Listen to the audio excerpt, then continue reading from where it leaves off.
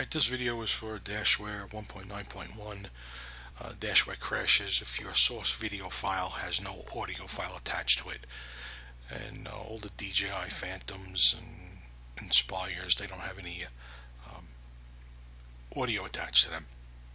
So here, this file, one uh, DJI 183, is just a 14 second clip of, uh, it's a 4K clip that I recorded, no audio in it.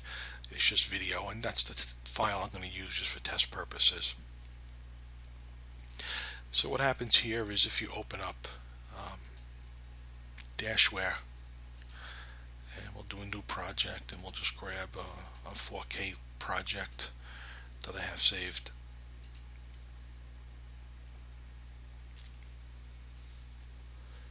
And what I'll do is I'll bring that video file in, 183. and I'll add a data file just to try it out.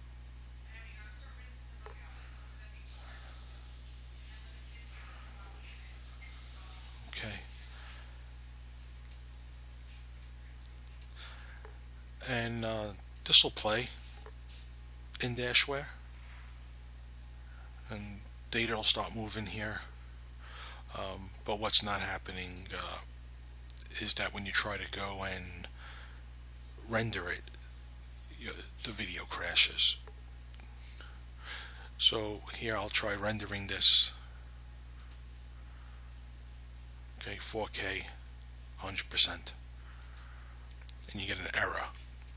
Again, you're getting that error because your source video has no um, audio in it.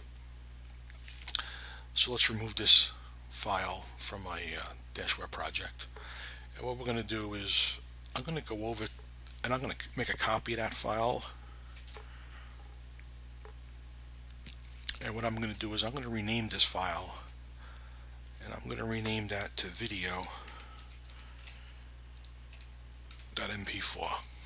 okay so I have a video.mp4 file I have an audio file sitting here audio.mp3 and here is a little bat file that uses FFmpeg which is sitting right here in the same directory.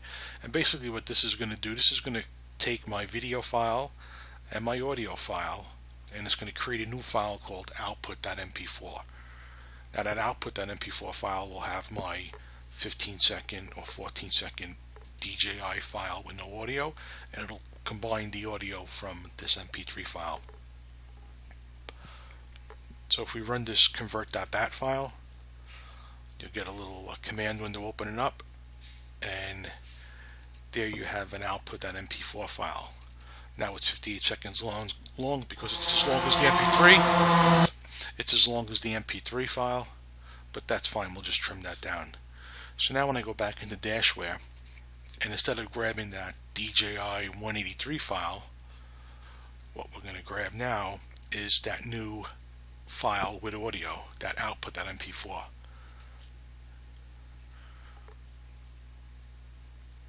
Which is the new file with audio. And again, what I'm just going to do is I'm just going to now bring this down to just about seven seconds long. That's all I want to render. Again, it'll play in here fine. And the data's moving. You can see the sticks going. There's some data populated. But again, it's just for test purposes. Now when I go to create video file, same settings, it's 100%, it's 4K resolution, and I'll hit the create video. Now I'm not getting the error, and Dashware is rendering the file.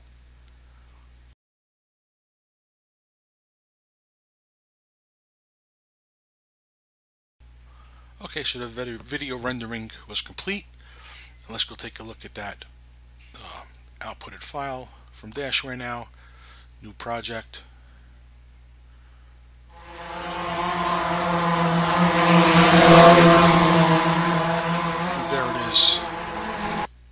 So Dashware outputted the 4K file with no problem.